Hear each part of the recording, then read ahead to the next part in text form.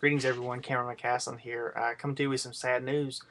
Um, it looks like Steve McNair has passed away. Uh, details are all real sketchy right now. Just wanted to let everyone know if you're trying to find information about this. I- I'm here in Nashville. Uh, the only people really reporting this are the local stations right now. You can go to newschannel5.com.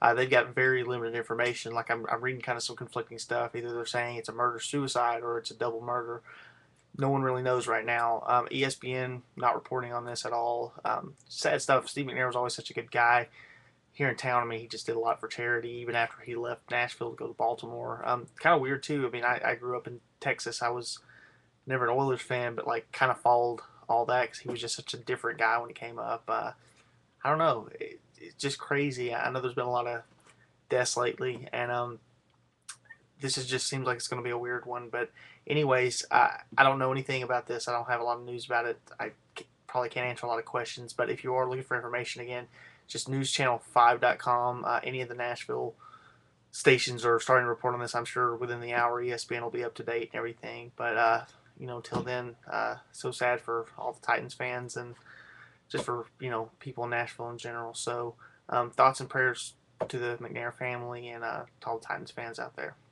Bye.